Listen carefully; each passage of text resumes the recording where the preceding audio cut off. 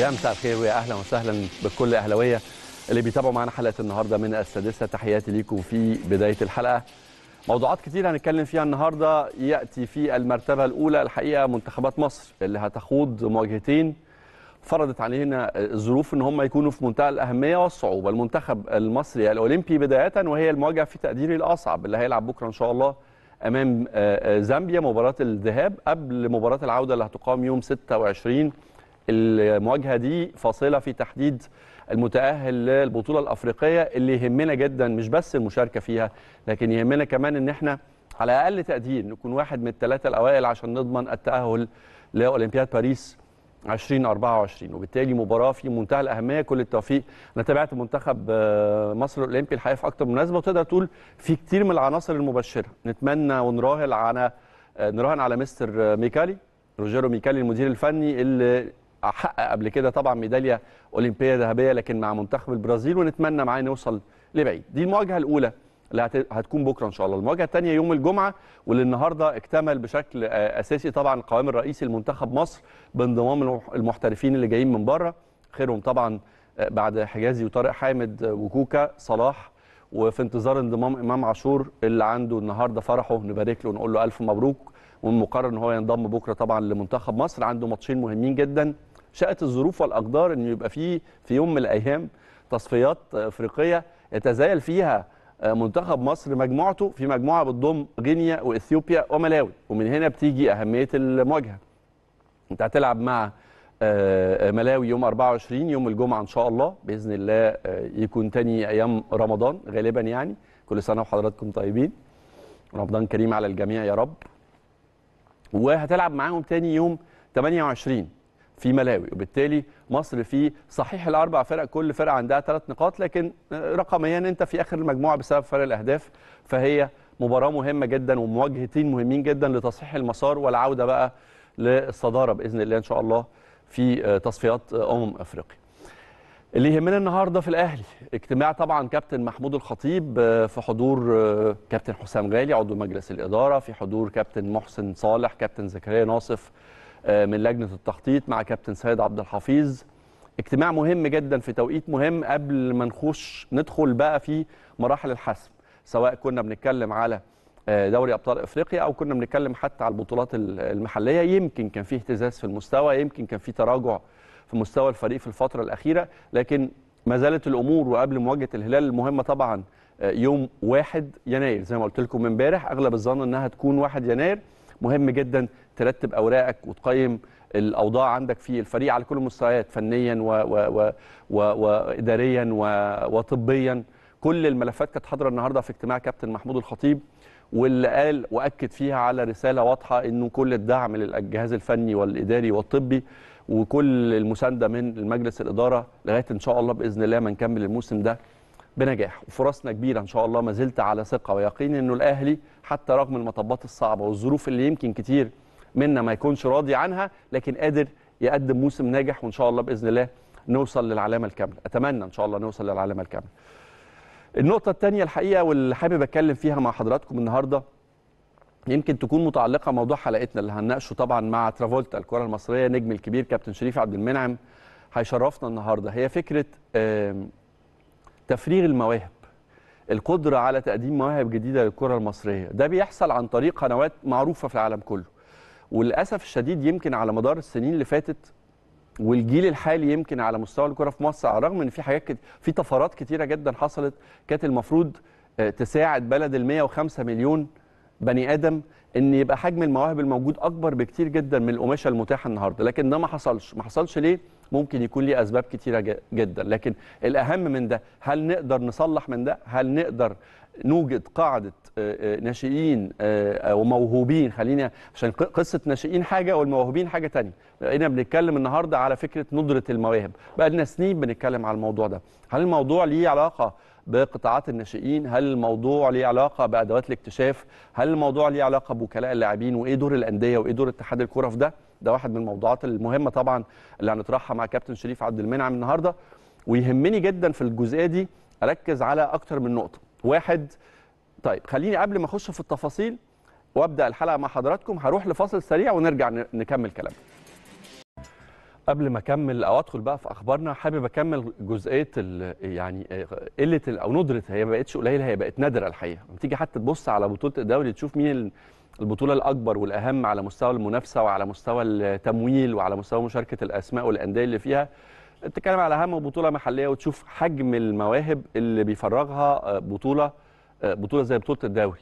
وكم اسم ممكن يدخل مثلا على منتخب مصر جديد غير القائمة اللي إحنا اتعودنا عليها مثلا السنة اللي فاتت. كل كام سنة كل كام سيزون أو كل كام موسم بيخش اسم جديد. المفارقة هنا اللي بالنسبة لي بتمثل علامة استفهام كبيرة جدا هي الفوارق بين زمن فات وزمن حالي. وفي فترة من الفترات كانت البنية التحتية في مصر وعدد الأندية اللي بتسمح يكون فيها مدارس وكورة وقطاعات ناشئين مش كبيرة قوي وكانت مساحة الممارسة ممكن في الشارع ممكن في الحارة ممكن في الكفور ممكن في النجوع. وكان عشان تطلع موهبة واحدة مطلوب منك تلف مصر كلها وانت وحظك. ومع ذلك أجيال كتيرة جدا لم تخلو من عدد كبير جدا من المواهب. من أول ما ابتديت أتفرج على كورة وأشجع كورة وشايف مصر دايما في الأهلي وغير الأهلي في مواهب كتيرة جدا. سيبك بقى من قصة في إنجازات ولا تترجم ده ولا ما فيش إنجازات تترجم ده دي قصة تانية. لكن النهارده تعال نشوف البنية التحتية ونشوف عدد الأندية اللي موجودة في مصر ونشوف عدد المستثمرين شركات وهيئات ورعاة ودولة دولة بتدعم الرياضة بشكل كبير وملاعب بقت موجودة في كل حتة. سوشيال ميديا وثورة الاتصالات خلت العالم كله مش بس مصر قرية صغيرة تقدر تتابع وتشوف اللي بيحصل في أي حتة في أي وقت. ورغم كده بقالنا تقريبا سنين طويلة جدا بنتكلم أصل ما فيش مواهب. عدد المصريين اللي وصل 105 مليون ما فيهوش مواهب؟ أكيد لأ. وأكيد زي صلاح وزي زيدان وزي حازم وزي وليد وزي حسام غالي وزي بركات وزي تريك وغيرهم كتير أسماء كتير في ملايين منهم موجودين في في بلاش ملايين في آلاف منهم موجودة في الشوارع. لكن الفكرة إزاي تكتشف واحد؟ اتنين لأنه قصة مش بس قصة اكتشاف وأنا ممكن أقول لك على مواهب كانت موجودة بالفعل واحترفت بره بالفعل وما حققتش أي شيء لأنه القصة مش قصة بس موهبة لكن إزاي هتأسس وإزاي هتطور وإزاي هترعى الموهبة دي والقصة مش برضو مش بس كورة مش بس أنا رايح التمرين وأنا راجع من التمرين وإحنا خدنا بطولة وإحنا خسرنا بطولة لا القصة أكبر من كده بكتير لو كان. لو كنت عايز تعمل نقلة نوعية القصة ليها علاقة. بتربية وتعليم يعني أنا نفسي في مصر أشوف الحقيقة وأتمنى الحقيقة إنه الموضوع ده يبقى يعني. بتتبناه الدولة فكرة إنه يكون في آه مؤسسة هيئة معرفش يعني معرفش إيه المسمى ممكن يعني تستكشف ال ال ال ال ال أنحاء مصر كلها وتطلع بالدرر تطلع بالمواهب اللي تستحق إنها تاخد مشوار رعاية بالكامل بالكامل يتغذى ويتعلم لغات ويتعامل معاه بشكل نفسي ويتم يعني تطوير قدراته على التعامل مع الضغوط ويتم تطوير ناحية يعني روح المنافسة. يعني تشتغل على البطل ده أو على ال ال ال ال ال الطفل ده من وهو صغير بحيث إنك أنت توصل في يوم من الأيام إن يبقى عندك قاعدة ممارسة كبيرة جدا من اللي متأسسين على أساس علمي على كل المستويات بدني خططي مهاري نفسي قادر يتكلم لغة أو أو لغتين. ده كله الحقيقة شغل. لو عمل لو ابتدي خدنا فيه خطوة ممكن في خلال 10 سنين من النهارده تلاقي نفسك بتجني الثمار ده. وأعتقد انه الكل هيكون مستفيد. منتخبات هتكون مستفيدة أندية هتكون مستفيدة بدل ما إحنا بندفع يعني مئات الملايين والمحصلة يعني باستثناء الأهلي مش لاقي حد بصراحة. يعني كل الانديه في مصر النهارده بتدفع مبالغ فلكية. ميزانيات فرق كرة القدم في مصر ميزانيات كبيرة وما أعتقدش إنه في نادي بيكسب. يعني باستثناء الأهلي اللي ممكن ها يكون يعني ممكن يكون بيغطي مصاريفه مثلا مثلا يعني ما عنديش أرقام دقيقة يعني لكن ما فيش محصلة ما فيش إيرادات بتيجي من نشاط رياضي غير في الأهلي المصري. ما عدا ذلك تقريبا ما فيش. على كل الأحوال. ده موضوع هنطرحه ونخش في تفاصيله مع واحد من نجوم النادي الأهلي. زي ما قلت لكم كابتن شريف عبد المنعم هيشرفنا معاه. خليني أعدي على أهم أخبار مصر الأهلي النهارده بسرعة. وأخبار مصر طبعا عندنا مباراتين أو مواجهتين مهمين جدا للمنتخب الأول والمنتخب الأولمبي. واحد حكم مباراة الأهلي والهلال. واسمحوا لي قبل ما أتكلم على الحكم في نقطة نقطة نقطتين الحقيقة مهمين جدا عايز أتكلم فيهم مع أشقائنا مع أشقائنا مع الأصوات العاقلة في الهلال السوداني يعني. واحد إنه الأهلي وده كان منطقي جدا وحتى من قبل طلب الأهلي بشكل رسمي ومن وقت ما تم الإعلان عن مواعيد ماتشات المنتخبات الأفريقية في تصفيات أفريقيا كان تقريبا شبه مستحيل وكانت علامة استفهام بالنسبة للقائمين على الأمور. هل الاتحاد الأفريقي بيشتغل في جزر منعزلة؟ يعني هل الناس اللي بتشتغل على ترتيب مواعيد مباريات الأجندة الدولية واللقاءات الرسمية بين المنتخبات الأفريقية في بطولة أمم أفريقيا؟ بيشتغلوا في وادي والناس اللي بتشتغل على بطولة الأندية بطولة دوري الأبطال وبطولة الكونفدرالية بيشتغلوا في وادي تاني هل دول أجندة؟ ودول أجندة ولا أجندة الاتحاد الأفريقي مفترض إنها تكون واحدة؟ عشان ما يكونش في تعارض زي ما حصل تعارض قبل كده مثلا مع مشاركة ممثل قارة إفريقيا في بطولة بحجم بطولة كأس العالم للأندية وإقامة بطولة أمم افريقيا أمم إفريقيا في نفس التوقيت. ما هو في ثمن بتدفعه القارة بصرف النظر عن إنه كان الأهلي أو مش الأهلي يعني. وبالتالي ما كانش منطقي ابدا إن يبقى منتخب مصر بيلعب في ملاوي يوم 28 بيلعب في ملاوي يوم 28 يعني لعيبة لعيبة الأهلي ولاعيبه كل الفرق بقى اللي ممكن تكون بتشارك في أفريقيا على مستوى القارة كلها. بيلعبوا يوم 28 يرجعوا بلدهم 29 عشان يلعبوا مباراة مهمة جدا في دوري أبطال أفريقيا يوم 31 إزاي يعني؟ يعني يعني هاو كم ما ينفعش. مش طبيعي. فطبيعي جدا جدا جدا يتم تاجيل مباراة 24 ساعة. و24 ساعة عموما يعني بالنسبة لفرقتين بحجم الأهلي المصري والهلال السوداني مش هتكون علامة فارقة.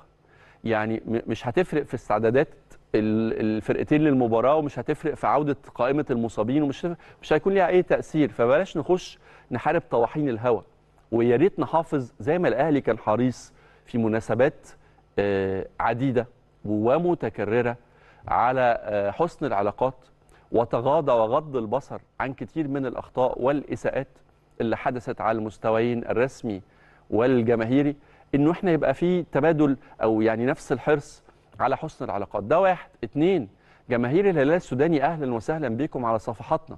إحنا متعودين على ده على فكرة. كبير أفريقيا في كل مواجهاته محليا كان أو قاريا متعود على استقبال جماهير الفرق اللي بتنافسه. ياما استقبلنا جماهير الوداد أحسن استقبال وياما استقبلنا جماهير الترجي. وبشكل يعني مستمر بنستقبل جماهير الزمالك على صفحاتنا. ما عندناش أي مشاكل في ده. وفي النهاية حتى لو كان في تطاول من أي نوع ده شيء ما ي... لا هيقلل من الأهلي ولا هيزوده. يعني دي حاجة بتعبر عن ثقافة معينة عن بيئة معينة عن مستوى تربية معينة. لا يسيء لينا بأي حال من من الأحوال. لكن زي ما أنا بديك حقك كامل حقك في إنك أنت تنتمي وتشجع فريقك زي ما أنت عايز. من حقي كمان وخد بالك هنا إنه المقارنة لما بتتقال ما بتبقاش هدفها الأهلي مش باصص غير في كراسته جماهير الأهلي مش باصة غير لفرقتها. وأعتقد إن كل الفرق اللي بتنافس النادي الأهلي لو بذلوا ربع المجهود اللي بيبذلوه مع ف... مع فريق النادي الأهلي بذلوه مع فرقهم فرقهم هتبقى في حتة ثانية فنرجو إن المباراة ايا كانت نتيجتها ما تأثرش في النهاية في علاقات وفي روابط تاريخية وفي آآ آآ يعني آآ علاقات كبيرة جدا بتجمع بين مصر والسودان. الدولة والشعب المصري والشعب السوداني أعتقد علاقتهم كبيرة جدا أكبر بكتير جدا جدا من مباراة كرة قدم. نروح لماتش الهلال اللي هيحكمه الموريتاني عبد العزيز بو. اسم جديد علينا شوية. ومفيش معلومات كتيرة قوي عنده هو اللي تم تكليفه بإدارة مباراة الأهلي والهلال في دوري أبطال إفريقيا. هو حقيقة مشواره حتى في دوري الأبطال مش كبير يعني هو أدار مباراتين في دوري أبطال إفريقيا منهم واحدة أعتقد كانت بين شبيبة القبائل وفيتا كلوب وانتهت بفوز شبيبه القبائل بنتيجة 2-1 أدار أربع ماتشات في الكونفدرالية الإفريقية وكان ليه مباراة واحدة بس في التصفيات الإفريقية المؤهلة لكأس أمم إفريقيا ومباراة وحيدة أيضا في كأس أمم إفريقيا تحت 20 ومباراه مباراتين في كأس أمم أفريقيا الأخيرة اللي اتلعبت للمحليين وليه مباراة ودية دولية وحيدة. يعني السي في بتاعه مش كبير قوي ودي ممكن تبقى ميزة وممكن تبقى عيب. ممكن تبقى ميزة لأنه ما عندوش أو ما فيش فريق مكون عنه انطباعات كاملة. هو بالنسبة لنا حكم مجهول. نمرة اتنين إنه أعتقد ده هيساعده بشكل كبير في إنه يخوض المباراة أو يدير المباراة دي بأعصاب هادئة. ده من ناحية المميزات. من ناحية العيوب عدم وجود فار طبعا بيتكلم اللغة العربية ودي برضو شيء شيء إيجابي جدا. هيسهل معاه التواصل أو هيسهل له هو شخصيا التواصل مع الفرقتين لعيبة الفرقتين. والجزء الحقيقة اللي يمكن يكون سلبي شوية هي قلة الخبرة. في مباراة مهمة جدا وحاسمة.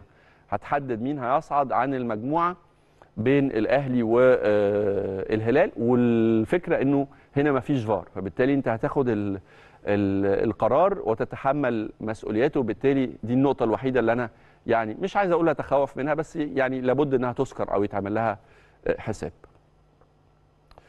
نتمنى التوفيق لفرقتنا إن شاء الله بإذن الله وهتكلم مع كابتن شريف النهارده على الأهلي وعلى استعداداته بالشكل الأمثل خصوصا مع غياب اللاعبين الدوليين. أنت عندك عدد كبير من اللعيبة وهنا مهم جدا معلش قبل ما أروح لمنتخب مصر.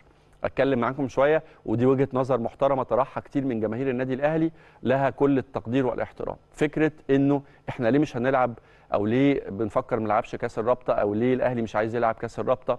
نتفق على حاجة. واحد كاس الرابطة ما هياش بطولة مش عايز أقول مهمة ولكنها ليست في الأولوية على أقل تقدير. يعني لو رتبت أجندة الأهلي من حيث البطولات هتلاقي إن بالتأكيد طبعا بالنسبة للأهلي كجمهور وإدارة ولاعبين بطولة دوري الأبطال هي أهم بطولة.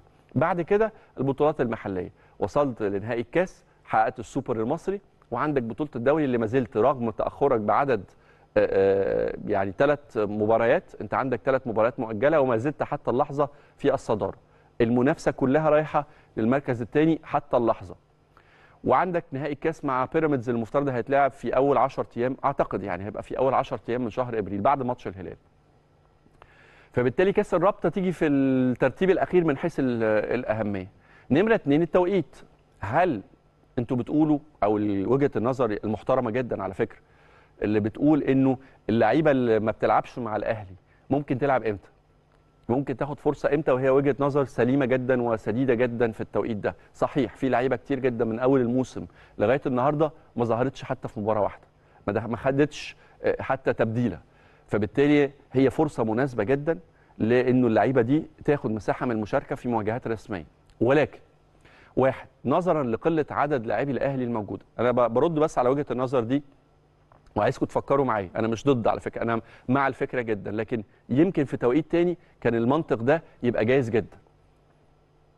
يمكن في توقيت تاني كان المنطق ده يبقى سهل تطبيقه وكان الأهلي يسعى لده بشكل كبير كجهاز فني أو كإدارة ممكن جدا وارد.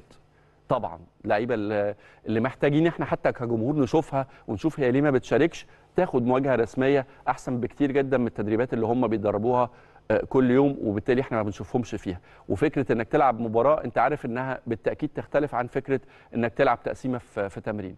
لكن في النهاية هل هل تقبل أنت كأهلاوي إنه لاعب في مباراة زي مباراة المصري في كأس الرابطة؟ لاعب ممكن يكون أساسي ممكن لاعب يكون مهم ممكن يبقى ورقة مهمة ورقة بديله مهمة جدا يتعرض للإصابة؟ أنت بتلعب قبل مباراة الهلال ب 72 ساعة.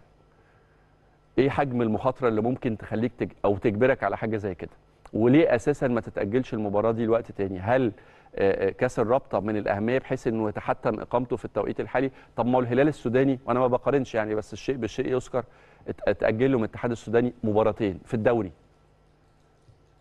وداخل معسكر مغلق في السودان ويوصل هنا القاهرة يوم 28 فبالتالي الحسابات ليها أو ليها وجهات نظر ممكن تكون مختلفة لكن بالتأكيد كلها هدفها الصالح العام سواء كانت وجهة النظر اللي بتدعو للمشاركة وتجربة اللعيبة اللي ما بتشاركش أو وجهة النظر بتقول خوفا من فقدان أوراق مهمة جدا أو تعرض لاعبين للإصابة في مباراة الرابطة قبل ما نروح لمواجهة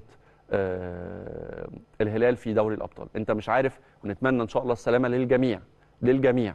أنت مش عارف بعد المواجهات الدولية دي أنت عندك ثلاث محترفين أجانب مع منتخباتهم بيرسيتاو علي معلول آه أليو ديانج عندك لاعبتنا اللي في منتخب مصر الأولمبي وعندك لاعبتنا اللي في منتخب مصر الأول وبالتالي لو خسرت ورقة من دول مين مين مستعد يدفع ثمن ده فبالتالي ما أعتقدش انه في وقت يسمح بالمخاطرة آه بأي شكل من الأشكال وبالتالي أتمنى إن شاء الله وخصوصا إنه يعني كان منطقي جدا إنه بما إنه الأهلي بقى الممثل الوحيد لمصر في البطولة إنه يتم تاكيد كان تتزق في أي وقت مش ه...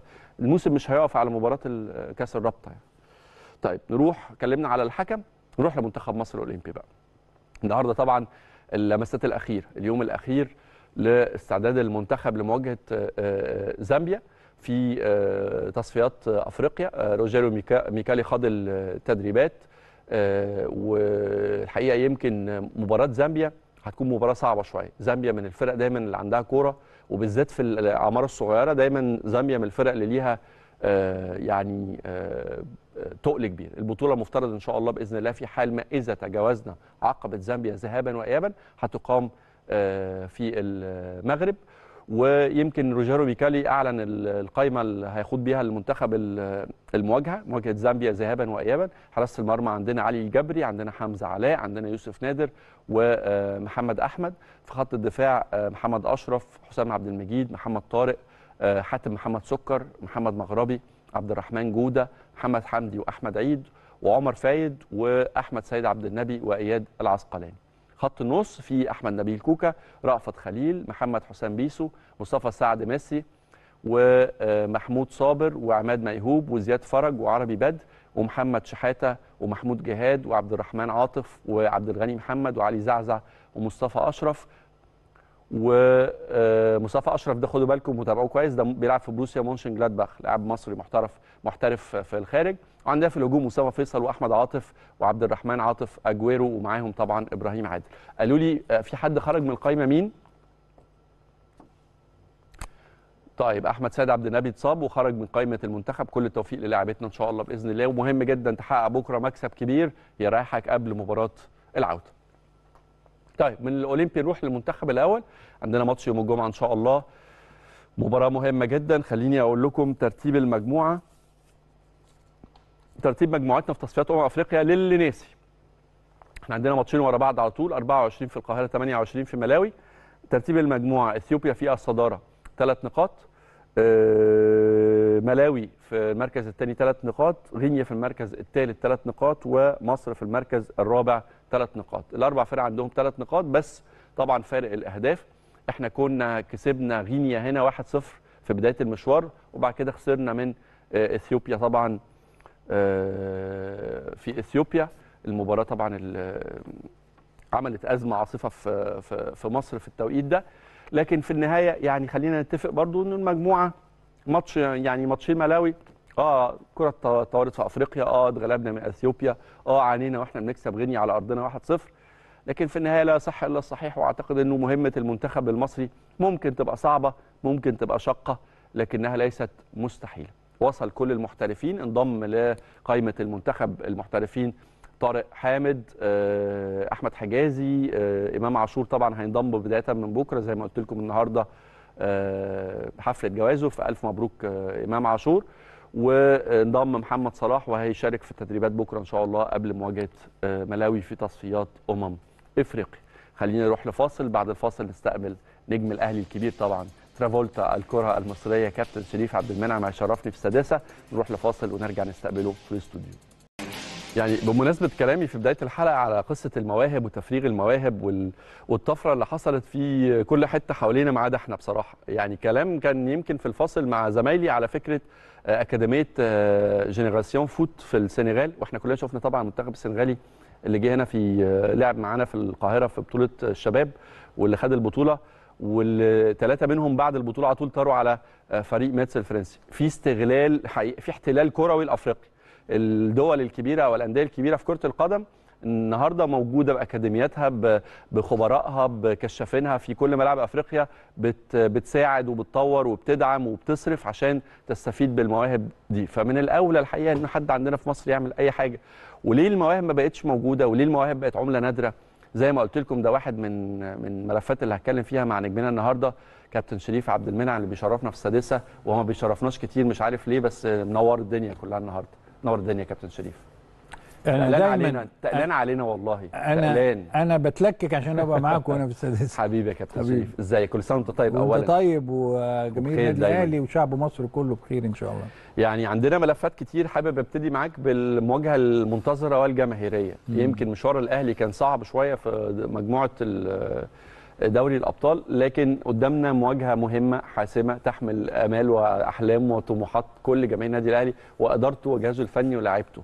إزاي شفت ال ال الدروب اللي حصل في في مشوار الأهلي في دور المجموعات وإزاي شايف ماتش الهلال خلينا خلينا نبتدي بتقييم المشوار دور المجموعات الأول.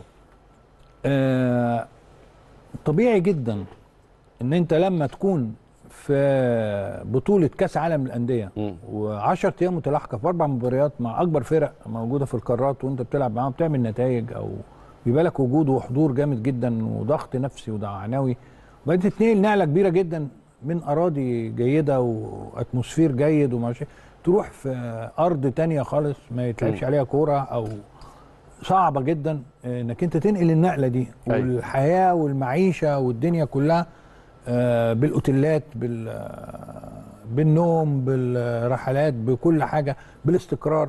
كل ده ما بيبقاش فيه استقرار. مم. وتلاقي نفسك رايح تلعب آه، مباراة زي ال- الهلال مثلا. كويس؟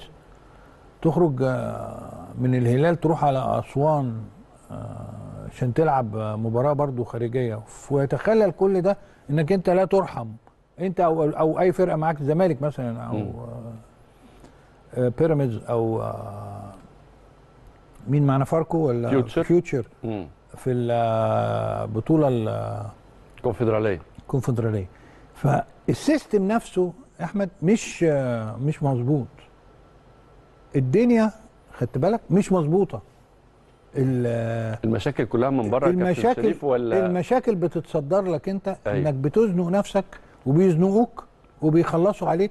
واللعيبة متهالكة كلها وبيحصل إصابات كتير جدا فطبيعي جدا إنك أنت تتعثر في مباراة زي ال- الهلال اللي أنت رحتها في. ما تلعبش فيها كورة أنت شفت فيها كورة ساعتها لا طبعا ما تلع... ما تلعبش كورة في عندهم الراجل 34 ده اللي بيجري حر هناك وعلى ملعبه مم. و شوت فاول آه، الشمس كانت معاكسة أو أيوة. حاجة زي كده بالنسبة لحارس. المرمى للشناوي وبانوا كل القصص وبانوا كل الأمجاد ها؟ مم. على حس فرقة اسمها كوتن كاميروني مش موجودة خالص. دي اللي بوظت ال- ال- المجموعة دي كلها. مم. أي حد رايح جاي عليها بيعدي هيكسبها. ده اللي بوظ التنافس في في المجموعة؟ في المجموعة. وخلى لبعض الفرق إن لما كسبتك أنت بقت ضامنة لستة بونت وتأخرك في المباراة الأولى اللي هي كانت هتبقى مع كوتن كاميروني على ما أعتقد. كنت هيبقى عندك ثلاث نقاط أنت في أول المجموعة. أيوه. كان هيبقى الفرق آه، واضح جدا إنك أنت معتلي زيك زي صن داونز ال- المجموعة. مم. إنك أنت اللي هت آه، تبقى قصدك راكب راكب الجدول و- من الأول. آه. والهلال مغلوب من صن داونز مم. بقيت أنت وصن داونز ال- ال- الهيد بتوع المجموعه بس أنت شايف إنه كله من بره؟ مفيش حاجة من جوه؟ يعني كره الأهلي ما اتهزتش. ما هو لو أنا. لو لو تاخد بالي أنا بقول لك أنا لما العب 10 أيام أربع مباريات لازم دي، يبقى في- رد الفعل لازم يبقى طيب. في في drop من حصل. من ال- من من ماتش الأخير من ماتش القطن الكاميروني اللي فزنا فيه أربعة لغاية ميعاد ماتش الهلال يوم 1 أبريل هل شايفها فترة جاي يعني كافية لاستعادة الفريق للتوازن وتقديم عرض يليق بشخصية النادي الأهلي يليق ببدايه الموسم على أقل تقدير إحنا ابتدينا بداية الموسم بداية ولا أروع سواء دوري سواء سوبر سواء حتى أفريقيا بره وجوه قدام الاتحاد المنستيري هل دي فترة كافية من وجهة نظرك؟ بص هقول لك على حاجة. آه ما أنت متاخد منك كام لعيب في المنتخب؟ سبعة. لو بعد استبعاد شريف وقفشة أعتقد ده بعد إزاي كمان ما في آه. يعني منتخب رايح من غير playmaker من. غير قفشة دي قصة تانية نتكلم فيها أيوة، بعدين ما يجي المنتخب بقى آه. نبقى نتكلم في المنتخب في قول في ال centre forward في دلوقتي كهربا عرف يعمل أيوة. حالة حضور وي- ويوصل إنما ال- الفرقة بقية اللعيبة الثانية متاخدة منك في عندك شناوي عندك متاخدين منك في المنعم عندك كهربا الباقي متاخد متاخد منك في المنتخب عندك الأولمبي. 11 لعيب بالظبط 11 لعيب.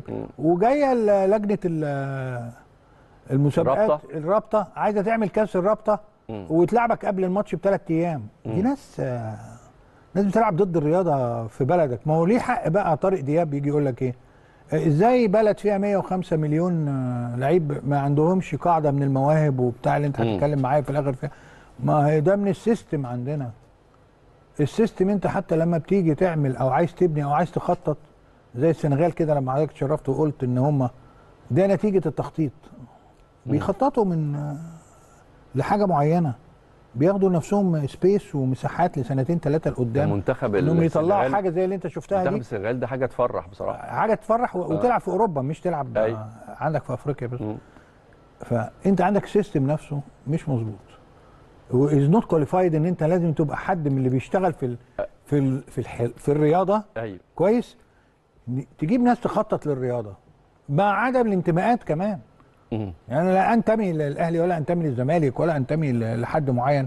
أنت عايز دكاترة بتعرف آه، شكل الرياضة إيه وبتتفرج على ال system بتاع بره. هو أنتوا ليه بت بتقلدوا الغرب في كل حاجة وفي الصح ما بنجيش ما بنقلدش.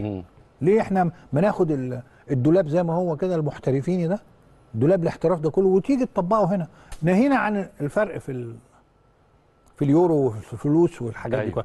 ابعد عن الحاجات دي وامشي على لا ده أنا هجي لك لسه في قصة. كمان ال- المحترفين الأجانب اللي في مصر وهل أضافوا لمستوى الكرة أو تطوير الكرة المصرية ولا لا أنت بتتكلم على خمس محترفين مسموح بيهم في كل نادي تقريبا وعاملين لك يمكن قائمه منصف مديني والإحصائيات. 102 مح... آه م- عدد المحترفين 102 هنا. محترف في. مصر منهم محترفين آه، ما لعبوش مسمينهم لاعبين دولي ما لعبش ماتش أو نص ماتش عندك علي معلول يمكن هو المحترف أيوة. كويس عندك بيرس تاو ده لعب في انجلترا وفي بلده معروف هنيجي في الملف ده بس هرجع ف- تاني لماتش الهلال وال- والأهلي إن شاء الله آه، يوم فهو واحد. ده ال system اللي خلى آه، الهلال يعتلي مم. بضربة آه، كورة اللي هي الفاول دي أيوه كسبك في الماتش ده وعمل مشاكل وأول وأي حد بيكسب النادي الأهلي فلازم يبقى ليه توابع. إنما هم أخواتنا وحبايبنا ما ما مش الحكاية مش هتعدي مباراة اهي المباراه كانت عندك والدنيا ومباراة راجعة لي أنا بقى كمان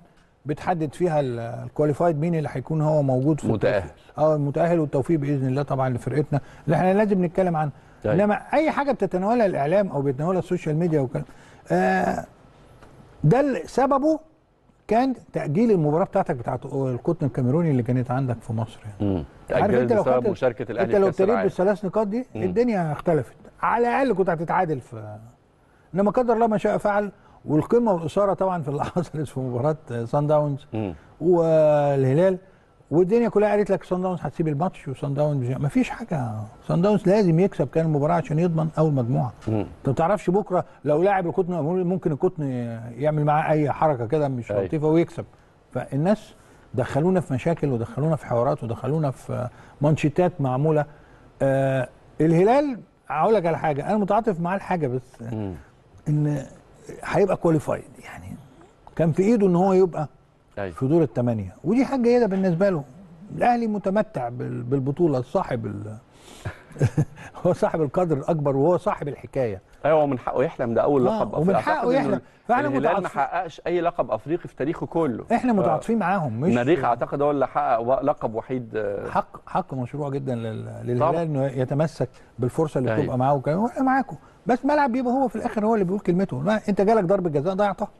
دي كانت تخ- على الأقل تخليك qualified وت... وإحنا جات لنا ضربة جزاء ضيعناها برضه. وإحنا وإحنا ب... يعني ضربة الجزاء بتاعت هاني في ماتش سان داونز كانت كفيلة بأنه وإحنا في كل مباراة بيبقى. لنا أربع خمس فرص. لو استغلنا أنصاف الف- الفرص دي والحلول دي ولعنة الإصابات بعدت عنك صدقني. ما عندناش مشاكل. أنا ما ما بقلقش. ولما بقلق بنحسس كلنا نقول إيه الحتة دي فيها مش عارف إيه الحتة دي يا جماعة لازم آه نركز ونعمل كهرباء معسكر مع نفسنا. كهرباء قفل قفل السؤال ده أو يعني حتى لو بشكل مؤقت يعني شايف إنه رجوع كهرباء وفعالية كهرباء. أنا مش عايز أقول رجوع لأنه شايف كهرباء لسه ما رجعش برضه. وأنا مع كل احترام للناس كلها شايف إنه إمكانيات كهرباء أكبر بكتير من الشكل اللي هو ظهر بيه. لكنه على مستوى الفعالية الحقيقة رجوع كان مفاجأة للجميع بما فيهم أنا شخصيا. لما قدرته على المساهمة في الصناعة والتهديف لما تكتمل القوة بتاعتك في لعيبتك الأساسية وفي الفورمة بتاعتهم هيظهر آه، وجود كل من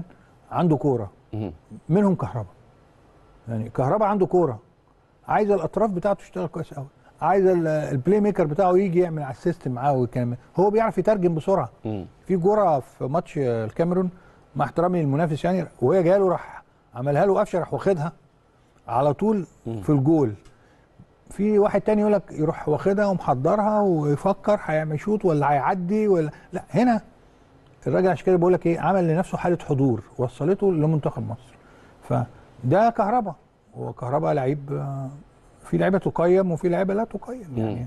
إنما الحالة البدنية بتاعته عاملة إزاي إصابته فيها شكلها إيه مش عارف. هو ده اللي اللي يخليه دايما آه، كهربا هيبقى موجود ولا مش موجود. إنما كهربا أساسياته وكورته كورة عالية جدا لما بينزل جنبه محمد شريف ببص الاقي محمد شريف ده أوه فوق كمان. لأنه معاه لعيب جنبه بيلعب كورة كويس. عبد القادر لما بيبقى أحمد في في مستواه الدنيا كمان بتكمل. أيوه. بيعدي سهل جدا يروح عاملها بالعرض كده حد علي معلول لما بيوصل المنطقة دي يعملها بالعرض جول. فأنت تخيل الدنيا بتبقى عندك من أنصاف وحلول صغيرة جدا. انت تقدر تكسب اي مباراه بتلعبها. مع اي حد على فكرة. مم. والاهلي اثبت قدام ريال مدريد كده 40 دقيقة عندك كنت تقدر تكسب 2 3 فيهم. انت اللي ما كسبتش. انت اللي انت اللي فرطت. انت لما آه، رجعت بقيت 2 2 وقفشه ضيع الكوره انت اللي جالك بريك داون ما ركزتش بقى. أيوه صعبة برضه. زهقت صعبة يعني. صعبة لا زهقت. طول الماتش. آه. بلعب ريال مدريد وجات لي الفرصة وأنا ما عملتهاش. أيوه. خلاص وقفت بقى. ريال مدريد راحت بثلاث أربع كور داسوا عليك في خط ال 18 ما هي الحكاية؟ فرصة. أو مم. الحكاية بتبقى كورة واحدة مثلا أو حاجة زي كده. إنما البيز عندك.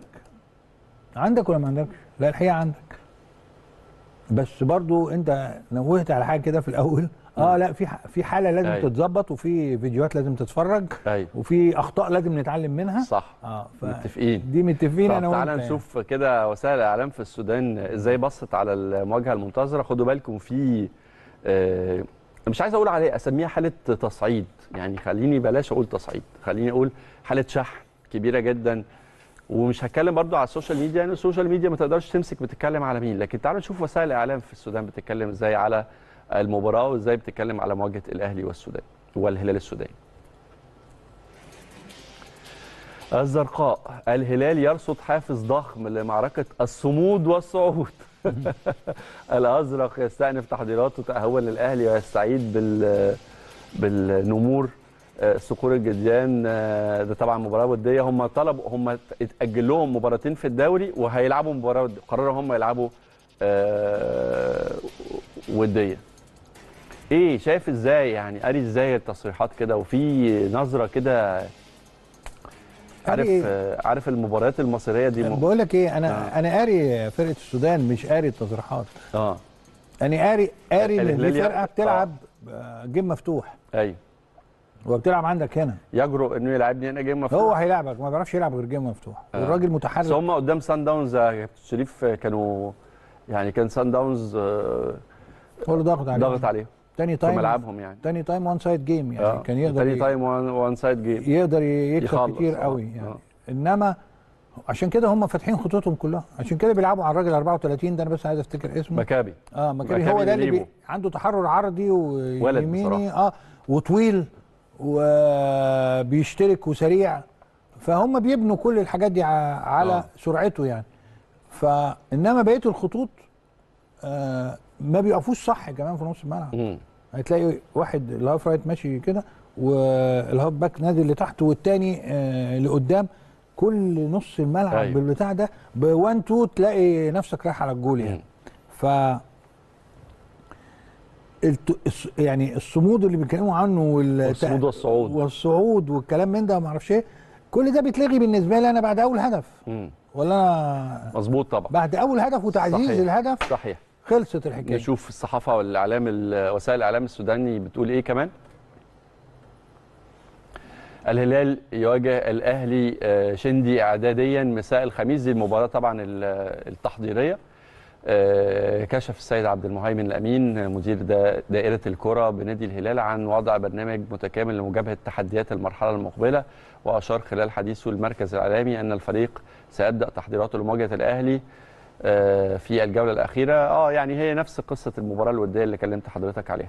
كويس بس شوف هم سمحوا للهلال وأجلوا له مباراتين. في الدوري. وأنت الرابطة بتاعتك عايزك تلعب مع المصري قبلها بثلاث أيام. دي حاجة مرفوضة تماما يعني. وما عندك 11 لعيب بره كمان ال- الفريق. يعني انت عايز إيه؟ يعني أنا مش فاهم. إيه إيه إيه لغة الاستفزاز دي اللي أنت بتعملها؟ على الكره المصريه عموما يعني مش آه، أهلي بس ولا؟ إيه مين اللي بيعمل الحاجات دي؟ هي مش المفترض يعني إنه كأس الرابطة مش من مش بالأهمية قوي وإحنا ده عندنا كمان الحقيقة- عاملينه حاجة يا أبو حماد آه. knock out knock out آه. يعني زمان كنا بنقول إيه؟ آه لما بيقف الماتشات الدولية والكلام من ده. أجندة الدولية الاجنده بيبقى الدولية لل- بنعمل آه، ماتشات للفرق الثانية عشان أيوة. ما يحصلش حالة ركود. طب أيوة. النهارده المحلة خرجت امبارح. آه ركود. ادي ركود لغاية إمتى بقى آه. حضرتك؟ هيفضل اللي عايش الإسماعيلي والمحلة وبقية الفرق فين؟ أيوه. وكل لعيب هيتغلب أو كل فرقة هتتغلب هتروح فين؟ أيوه. هو ده المبدأ اللي انت يعني حتى وانت بتفكر؟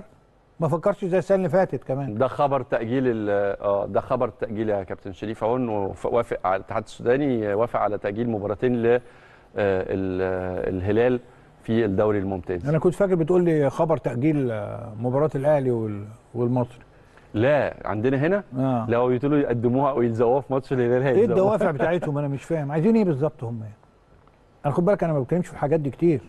بس في حالات بتبقى حالة استفزازية. لا ليست الاولى ولن تكون الأخيرة آه. لا. حالة استفزازية بجد. إيه يعني ب... عايزين تقولوا لنا إيه؟ مش فاهم أنا. أنا مش فاهم. عايزين يقولوا إيه؟ هو خد بالك برضو كابتن شريف من من من نظرية أنا ابتديت أعتقد فيها وأصدقها بصراحة.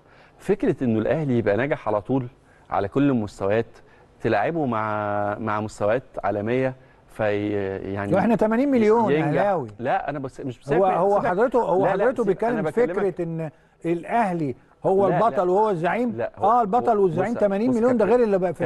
انحاء ال- ال- الأمر الواقع أفريقيا وأنحاء الأمر الوطن العربي. إنه آه، يعني في ال 10 أو 12 سنة الأخيرة نجاحات الكرة المصرية في مصر تنسب فقط للنادي الأهلي ما هل تشتغل في أي إنجاز ثاني اتحقق للكرة المصرية غير النادي الأهلي؟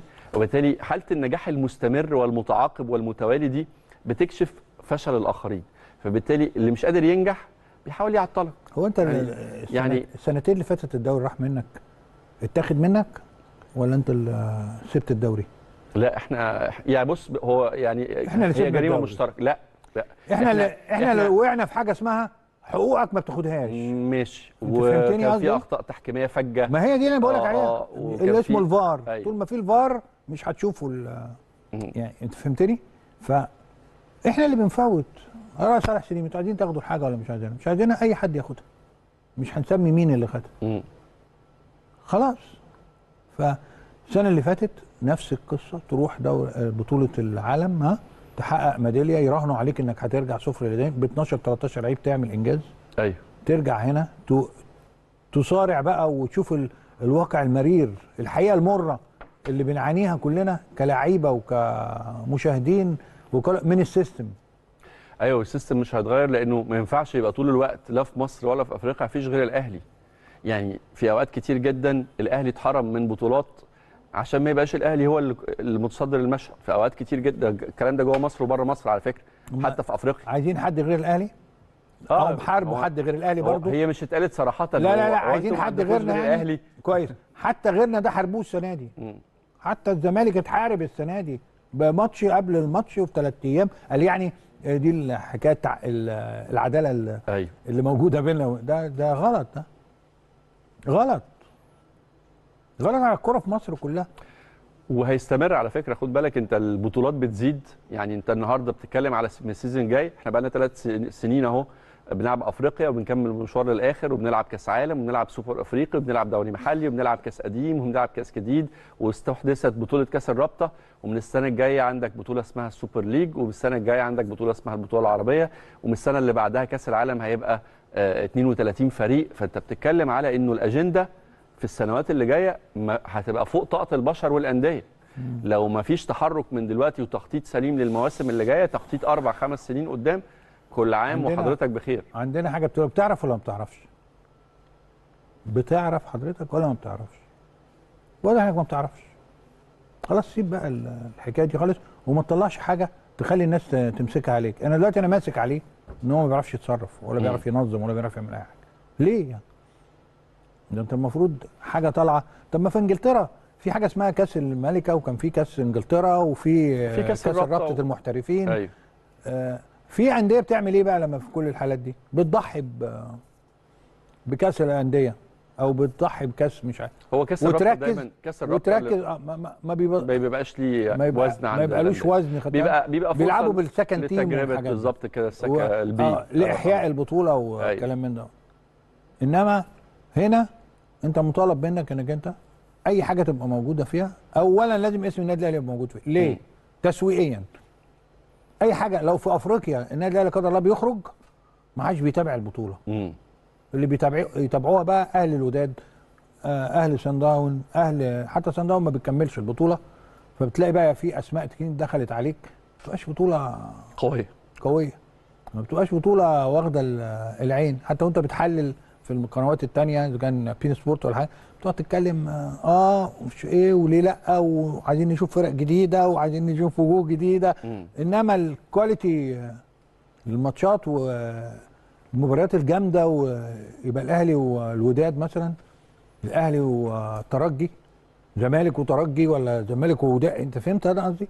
ده الأسماء دي ولا أي حد مستجد علينا تاني في أفريقيا بيطلع بضربة حظ يعني ف دي برضو ليها. وجودك انت ليه ثقل تانية خالص في أيوة. في الحكاية والحقيقة كمان إنه نجاحات الأهلي سيبك من الميداليه البرونزيه مركز رابع سيبك من القصة دي لكن المشاركات على مستوى أو الاحتكاك على مستوى دولي آه، وعالمي يا كابتن شريف ادى للأهلي برستيج تاني خالص وآثار غيره ناس كتيرة جدا يعني أنت لما تلعب مع ريال مدريد و... ريال مدريد وبايرن ميونخ حتى لو بتخسر منهم بالمناسبة بس مواجهات رسمية وبتقدم مباريات مقبولة فنيا نظرا للفوارق اللي أنشيلوتي نطق. لازم نعترف بيها. أنشيلوتي اتكلم اللعيبة بتاعت ريال مدريد؟ اللعيبة بتاعت ريال مدريد احتضنت اللعيبة صحيح. good players يعني آه، إن بتبقى في حتة تنظيم معين. أيوة. انت مش مؤهل system ال system صحيح. بتاعك مش مؤهل على ريال مدريد انك لا وبتكسب يعني- أبطال القارات بتكسب آه، آه، أمريكا آه، وبتكسب- مونتري المكسيكي وبتكسب البطل أمريكا سياتل ساوندرز وأوكلاند والدحيل و... و... والهلال الس- السعودي يعني أربعة. بتكسب أبطال قارات الهلال اللي هو كان. ممكن يكسب طبعا طبعا يبقى أول طيب عايز أرجع معاك على الملف عندنا هنا. طب إحنا عندنا في حالة ضجيج وفي حالة صخب عالية جدا. المردود بقى ال quality بتاع المنتج انت شايفه إزاي؟ لما نيجي نبص لبطولة الدوري حجم المواهب اللي أفرزتها البطولة لما نيجي نبص للمحترفين الأجانب هل أضافوا للكرة المصرية؟ هل ساعدوا على تطوير المسابقة تطوير المستوى ولا لأ؟ بس هتسمح لي نروح لفاصل. ونرجع نكمل كلامنا تعالوا بقى نتكلم في موضوع مهم جدا. وسيبكم من النتائج وسيبكم من البطولات وسيبكم من كل حاجة. أنا بتكلم على الجودة على المنتج. لازم قبل ما نشوف الأرقام تاخد بالك ونسمع طبعا رأي نجمنا النهارده كابتن شريف عبد المنعم. لازم تاخد بالك من نقطتين أساسيتين. النقطة الأولى إنه في كل مكان في العالم وده ينطبق على كل شيء مش بس على اللاعبين المحترفين حتى على السلع حتى على البضائع من أصغر سلعة لأكبر سلعة. عشان أجيب سلعة مش موجودة عندي أروح أجيبها من بره ليها حاجة اسمها كود ليها حاجة اسمها specs أو specifications في كود معين عشان أسمح بدخول السلعة دي. بما فيهم بتكلم طبعا على الدول اللي عندها تجارب ناجحة ومحترمة آه، آه، بما فيهم الدول اللي بنشوف بنتفرج على الكورة وإحنا منبهرين زي الدول ال- الإنجليزية يعني الدوري الإنجليزي زي الدوري الفرنساوي زي الدوري الألماني. مواصفات للاعب آه، سنه آه، مشاركاته الدولية. في دول بتشترط أساسا إنه عشان أجيب لاعب لازم يبقى دولي يشارك في الموسم ده مع عدد معين من المباريات للمنتخب. فده القصة الأولى. هل في كود للاعيب المحترف أو مع اللاعبين المحترفين أو معايير يعني اتحددت عشان نجيب لاعبين محترفين؟ لأنه ده هيقودنا للسؤال إيه السبب في إن أنا بلجأ لوجود لاعب محترف لاعب أجنبي هنا في مصر. كل اللعيبة اللي بتلعب مفترض إنها محترفة لكن بتكلم على المحترفين الأجانب. الفكرة إنه يطور يرفع المستوى. آه ده سبب أساسي. وشفنا تجارب وهنا مش هتكلم مثلا على آه، الدوري الإنجليزي والألماني والأسباني. لا تعال نبص على الدوري- الدوريات الخليجية وتعال نبص على الدوريات المغربية. وتحديدا المغرب أو السعودية أو قطر أو الإمارات. هل المسابقات اتطورت؟ هل المردود الفني للاعبين دول آه، جاب نتائج إيجابية على اللاعب الوطني؟ هل قصة الاستثمار نجحت؟ فكرة إن أنا أجيب لاعب أستفيد منه فنيا وبعد كده أقدر أبيعه وأسوقه لأوروبا وأكسب منه؟ تعالوا نطبق كل ده على الدوري عندنا هنا في مصر ونشوف رأي كابتن شريف عبد المنعم. بس بعد ما أستعرض معاك مع مجموعة من الأرقام أول الأرقام معانا مرتبطة بعدد المحترفين الدوليين اللي بيلعبوا عندنا في الدوري المحلي. خلينا نشوف الأرقام ونرجع ندخل في الموضوع. دي أرقام المحترفين الأجانب في الدوري المصري. 102 لاعب آه، كابتن شريف منهم 43 لاعب دولي. 60% من الرقم ده من اللعيبه الدوليين. آه، شاركوا لمباراة أو مباراتين مع منتخباتهم.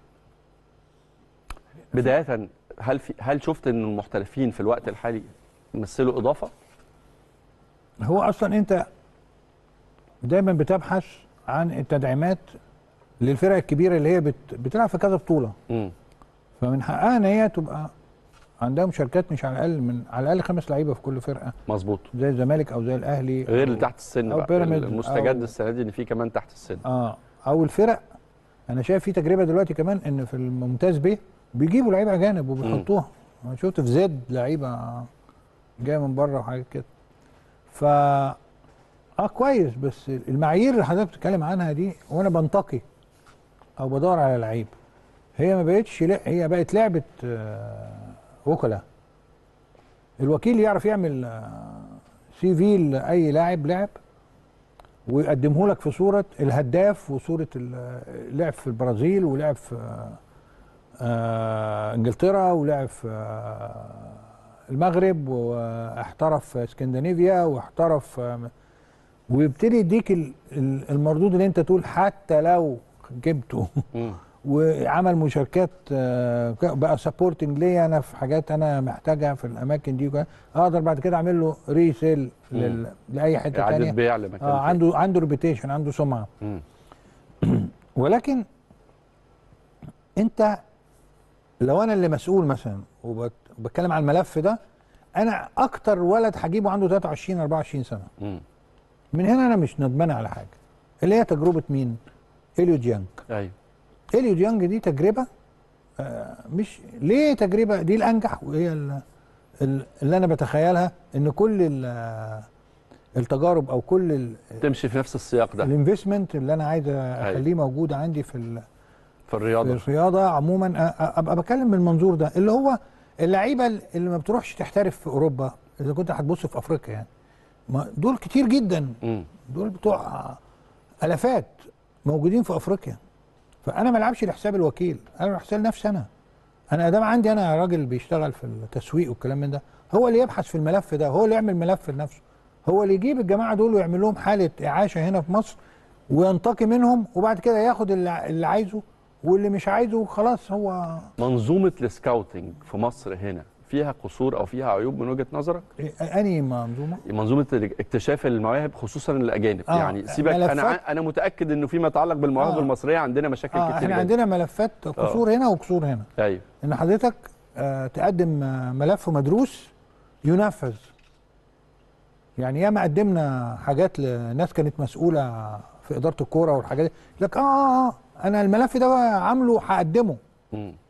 أقول له طب الحمد لله يعني الفكر واحد طريقة واحدة الشكل واحد.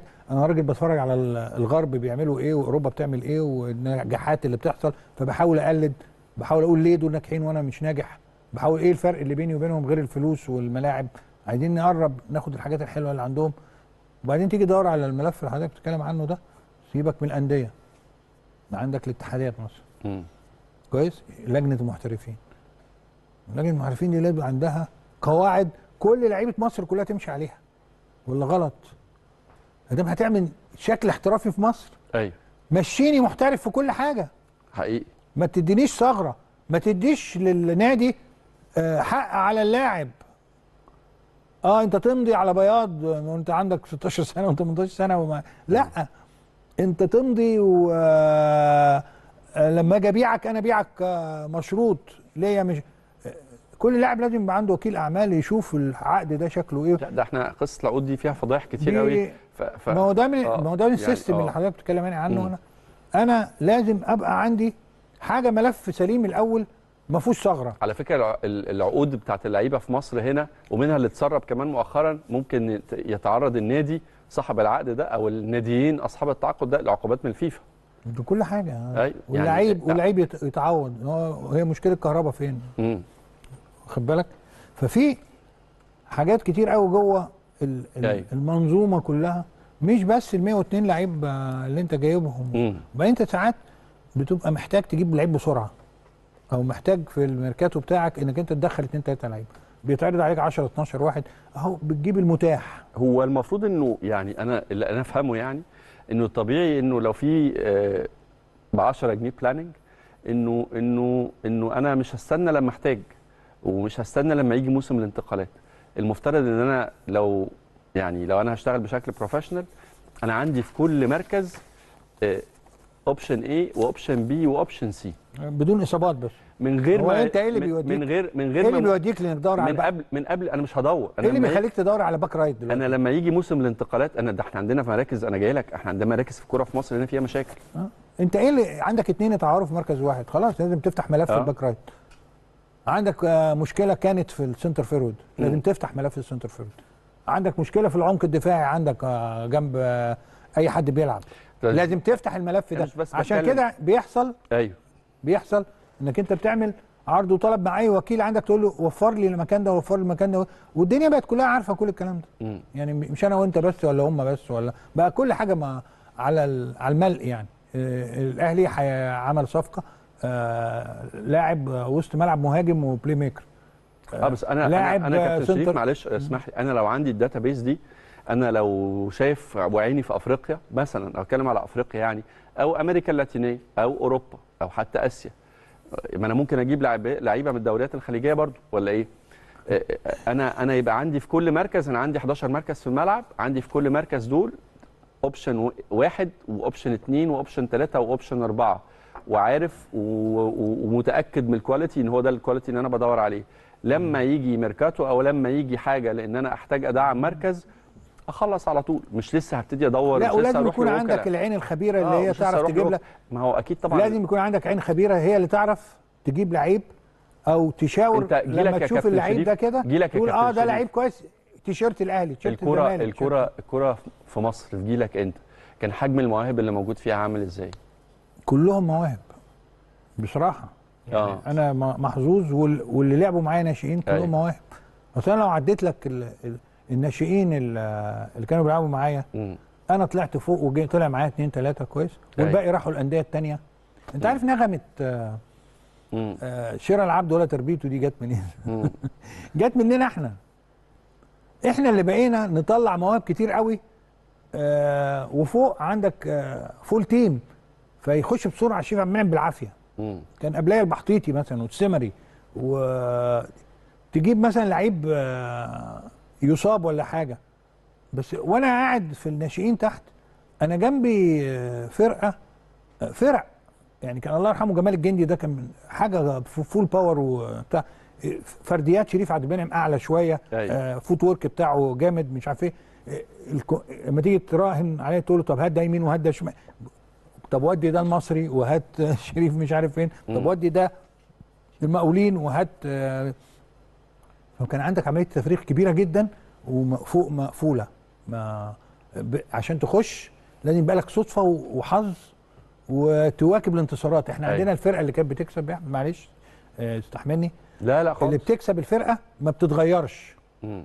وكنا عارفين مين الأساسي ومين اللي هينزل في الدقيقة كذا ومين اللي آه، ده هيلعب مين 60 هيكمل دقيقة وده يعني. 40 دقيقة أيوة. وصفوت هينزل يعمل الماتش كله ويعمل الإيقاع والبتاع ينزل مجدي بعد كده عبد الغني لما دخل الفرقة يعمل حالة الدفاع والجري في كل حتة ويقطع في شطة كان موجود في نفس المهام دي وال يعني وعندك بقية ال- ال- السرعات وكريم مصطفى centre forward مصطفى عبده الخطيب وعبد العزيز عبد الشافي أو وشريف عبد المنعم هو انت رحت الأهلي إزاي يا كابتن شريف؟ ناشئين. ناشئين. ناشئين. انت انت رحت كده اختبرت يعني اختبرت آه، قالوا لي تعالى بكرة. آه، يعني مش بطال أول مرة. آه. تاني يوم فردت بقى والخوف راح والبتاع مضّوني.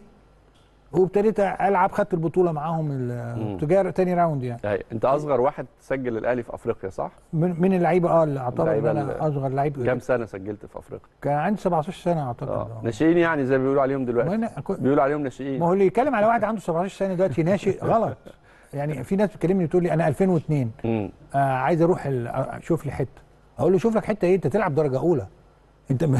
أنا مش هحطك ناشئين خالص أيوة. انت ما تنفعش تبقى ناشئين خلاص مم. 2002 دلوقتي 2001 2003 دول 21 سنة لازم يبقوا أيوة. موجودين في دائرة الضوء طب خليني هكمل في النقطة دي معاك بس يهمني كمان ع- ع- عاملين خريطة كده آه، إحصاء لأكثر الجنسيات مشاركة في ال في ال في اللاعبين المحترفين في الدوري المصري آه وأرجع تقول لي كده مين الخمس أسماء اللي لفتوا نظرك غير محترفين؟ يعني ما تقوليش معلول وديانج وبيرسي تاو يعني طلع حميد تاو. طلع تعال نشوف كده جنسيات اللاعبين المحترفين ونرجع. okay طيب طبعا عندنا نيجيريا على في الشاشه الكبيره بس عشان آه ممكن نجيبها للكابتن شريف قدامنا. على الشاشه الكبيره مم.